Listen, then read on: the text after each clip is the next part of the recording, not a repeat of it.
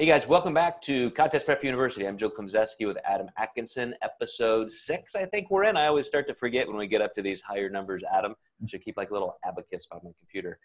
Uh, but we're going to talk about non exercise activity thermogenesis now and the impact it has on metabolism. So, this is kind of the darling of the industry right now. Everybody loves talking about this. Even some of the top researchers note that as we diet, as we get into that calorie deficit and, and we're starting to just feel the effects of dieting, it's only natural for our normal daily activities to just kind of wind down. So all of a sudden, you're just not walking around as much. You want to sit down more. You, you might even just start. I mean, just metabolically, even even without you knowing it, like your body just starts conserving energy. But non-exercise activity thermogenesis is the bulk of our metabolism outside of just our normal basal metabolic rate, even if you were just lying down all day. Those movements that you do all day long matter the most. So, are you seeing, Adam, in the way you communicate this with clients, just talking about, hey, get up and move around? Maybe you do, you know, don't count this as cardio, but maybe you just want to walk around a little bit more, park in the back of the parking lot, take the stairs. Do you do you find yourself giving that advice now? Yeah, you know where this comes up a lot is with my moms, and some of them will get tired and they're like, I feel awful because I don't want to play with my kid right now because I'm tired.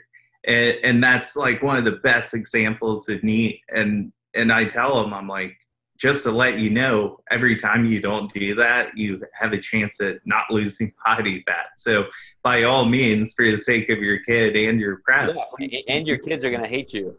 Yeah, exactly. So, and uh, you know, I even think of that stuff when I take my dogs on walks and stuff. They really look forward to getting out of the house, and you know, even if I am tired and dieting, I actually feel better after I go do those things anyhow. So it's really important to keep those things in. You almost have to trick yourself or talk yourself into doing them just like sometimes waking up in the morning is hard for people and you see that with people for prep the, i think it's good they're sleeping more but if they were waking up at 5 a.m versus like 11 a.m hmm. that's a big difference i have a guy who's laid off right now and that's exactly what he's doing and I said, I like that you're sleeping for recovery, but maybe let's wake up at nine instead of 11, you know, get up and start doing something, maybe do some cardio. Mm-hmm. Well, you know, because this has become such a focus in the industry, I, I, find some coaches even having clients track their steps and, you know, that gold standard of 10,000 steps a day or something. It's like, you know, here's your training, here's your, your prescriptive cardio but we still have to keep NEAT high. And here's how we can do it. Make sure you got these steps in. Make sure if you work a desk job, you know, every 50 minutes you stand up and walk around for five minutes, you know, anything you can do just to stay more active because we, we lose consciousness of that. We don't realize how much more we're sitting around. But over the course of three, six months of dieting, you know, that can add up to several pounds. Yeah, yeah, absolutely and i think it's just good for for your clients to be active and you know break the monotony of being at their desk. Their pro- productivity usually goes up when they do that as well. And it, it just all around works best for everyone. I've thought often about tracking steps with clients but i always like to bring that out with communication. I like to leave some variables open so then it gives us more to discuss. So then it's just not so robotic. You send me this sheet and that's it. Mm-hmm. You know, I, I gave a lecture alongside, I think it's Dr. Bainbridge. I, it'd be funny if I actually got that right, but uh, I was in Tasmania. He teaches exercise science at the University of Tasmania.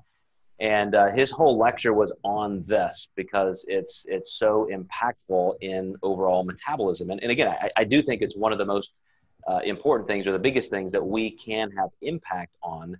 And uh, he, he went through the stats and, and, you know, he kind of went through a case study of if this is this person and this is this person, you know, they take the elevator, they take the stairs, they park by the door, they park in the back. And this, I mean, it, it can be a couple hundred calories a day before you know it. And, and that can be a wide margin between losing and not losing. Yeah, that's really cool. Mm-hmm.